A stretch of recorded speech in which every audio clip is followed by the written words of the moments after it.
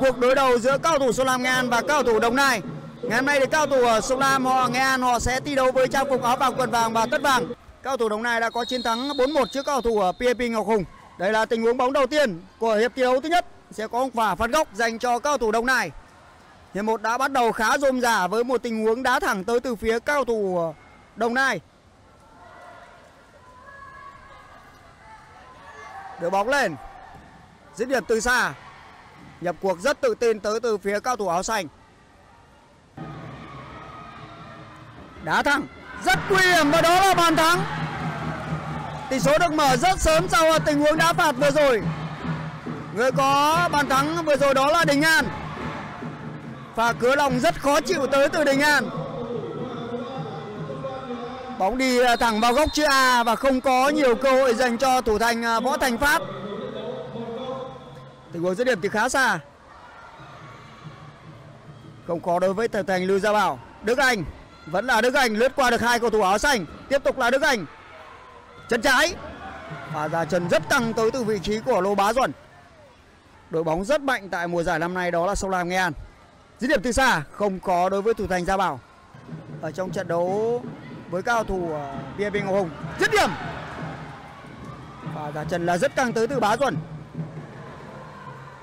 Ở trận đấu với cao thủ PNP Hùng nếu cao thủ Bắc Ninh có được chiến thắng, nhiều khả năng họ sẽ có được ờ, chiếc vé đi tiếp tại ờ, mùa giải năm nay. Bóng được hướng tới vị trí của Gia Bảo, khoảng trống dành cho Gia Bảo, xuất xa, khá nguy hiểm. Dương có thể xử lý bóng bằng hai chân là khá khéo. Tình huống thoát đi khá hay, khoảng trống dứt điểm ngay.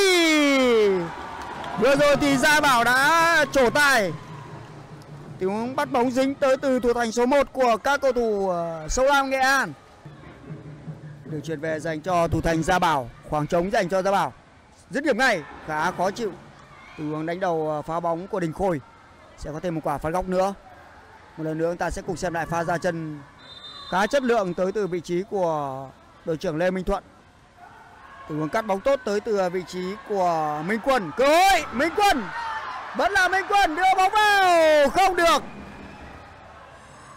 Bá Duẩn đang nổi lên với vai trò của người kiến tạo tại giải đấu năm nay. Bóng vừa đập cột dọc. Bá Duẩn vừa tung ra cú dứt điểm sau được truyền tới từ Đình An. Và đá phạt góc nhanh tới từ phía cầu thủ số Lan Nghệ An. Cú đá là khá xoáy và quy đạo đi. Mất bóng sẽ là nguy hiểm cơ hội. Dứt điểm. Đó là bàn thắng dành cho vị trí của Minh Quân. Một tình huống mà Minh Quân chấp thời cơ rất nhanh. 2-0 dành cho các thủ số Lam Nga là phút thi đấu thứ tư của hiệp đấu thứ hai. Một lần nữa chúng ta sẽ cùng xem lại pha bóng này. Người đã mắc lỗi ở pha bóng vừa rồi đó là vị trí của đội trưởng Minh Thuận.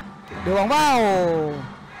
Được truyền của Bá Duẩn Đức Anh Vẫn là Đức Anh Cơ hội Không được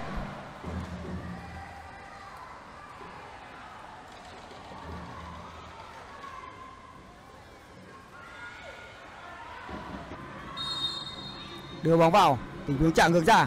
Nguy hiểm. Và ra chân tới từ Bá Duẩn. Khoảng cách đang là hai bàn.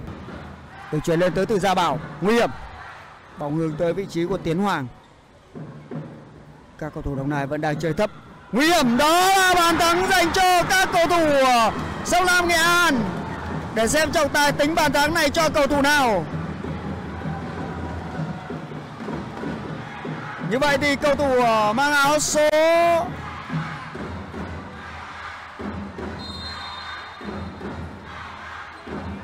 như vậy sẽ có ý dành cho các cầu thủ ờ, đồng nai. Cú ra chân từ xa tới từ vị trí của nguyên.